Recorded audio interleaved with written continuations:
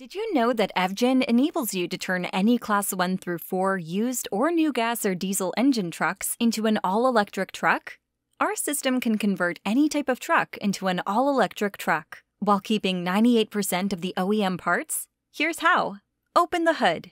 The first steps is to remove the IC engine. Just disconnect the plugs and sensors from the engine and tuck them away into a safe place on the truck. None of the existing OEM wires are cut or removed. Next, remove the gas tank and the fuel lines. Remember to unplug the electrical connections and leave them in a secure place on the truck.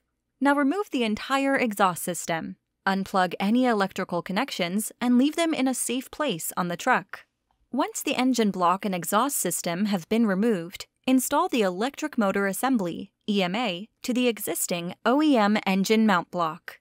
Then, connect the EMA to the existing OEM bolts on the transmission housing. Next, reconnect the OEM water and air pump lines to the air and water port inlets and outlets on the EMA. Close the hood and connect five low voltage wires to the OEM cab throttle pedal and key switch per instructions. Install the bed rails to the truck, which will raise the depth of the bed approximately 4 inches. Install the battery modules by bolting them to the bed as per instructions. Slide the new subfloor over the battery modules. Raising the height of the bed rails creates more room or truck storage space than before. There is no need to sacrifice any bed space to the battery pack. Now you can drive an electric truck with no special training, no special parts, at highway speeds, while transporting max payloads or towing max capacity. Enjoy your fully electric vehicle with EVgine. Learn more on evgine.com or type EVgine into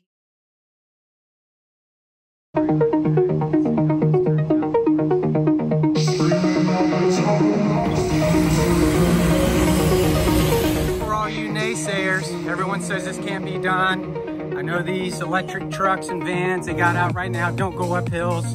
They can't pull trailers fully loaded like this. Remember, this is 425 volts. It's not the full 725. So I'm running about half the power on this thing. There you go.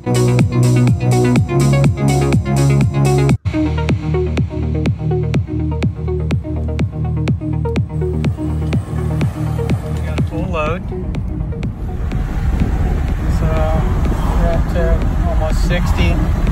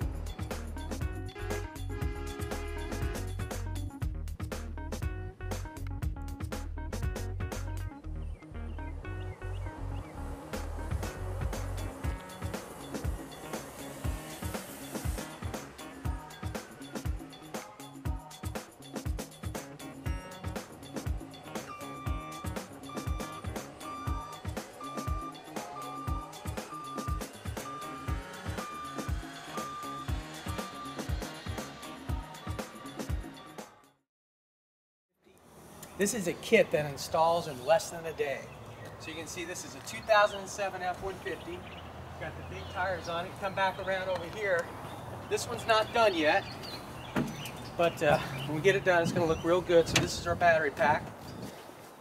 And what I want to do is show you the hood. So let's go take a look at the hood. All right, here's the hood, just as I promised, but I think you're gonna like even more what's underneath the hood. What we've got here is all OEM parts, except for our controller. And if you look way down in here, you're gonna see that that is actually an electric motor. This truck probably has about 500 miles on it already. We've been doing some testing. But as you can see, this is the OEM um, compressor for the air conditioner. That's the OEM alternator, and these are the actual OEM brackets right here. The only thing you see uh, that we made is the one bracket here in the battery box. Everything else is OEM. So you can get all your parts at Napa or Ford. You can get your containers, you can get your compressors, you can get your ABS braking system, brakes, transmission, the OEM transmission still in here. But let me show you some, hold on one second, I'm gonna cut this on because it cuts on just like a real gas engine come around here,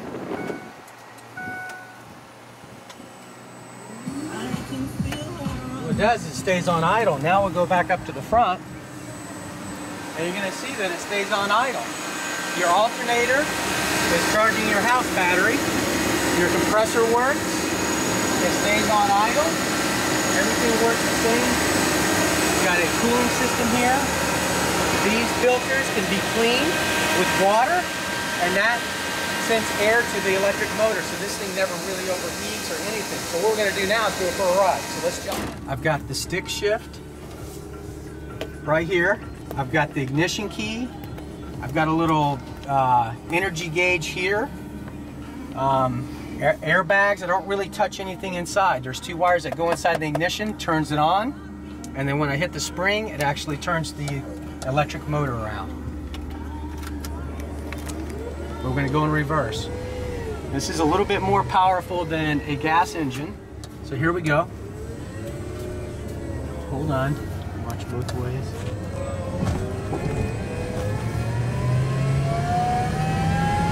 Like I said, it's a little bit faster than a V6.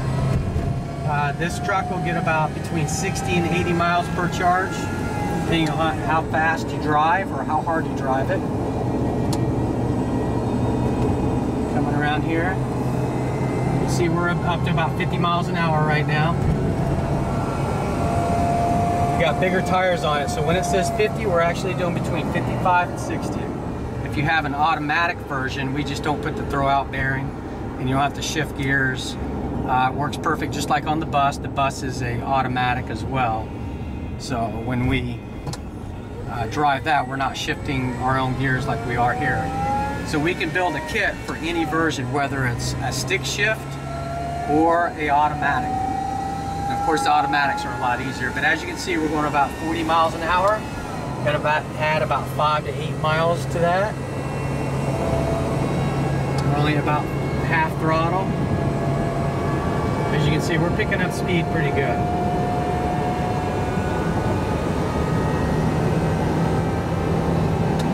We're hitting about 200 to 300 amps. We're almost doing 70 miles an hour if you look in front of us. We're really cooking it right now. I'm gonna hit the brakes because remember, we got all OEM, all ABS, everything's bolted down securely. I could go over this bump right here if I want to. It's not gonna affect the truck. I'm gonna pull in here kind of hard. I like to be rough with it so I can show how rugged this system is. Cannot break the system. Come in. Okay, now what we're gonna do is check the temperature. I just drove this thing pretty hard. I'm gonna take this temperature gun and we're gonna go look at everything. I can smell the brakes a little bit. I was a little hard on it, but as you can see, our alternator still nice and cool. Uh, 87, let's go to our controller. It's still 78. Let's go down to our motor. Our motor got up to about 93, that was it. That's because we have a nice cooling system on here. The system is engineered to build and built so it does not overheat. That is the number one enemy. You don't want to overheat your controller, your motor, anything on this vehicle. And with the battery packs we've designed into it, this thing uh, will last you forever.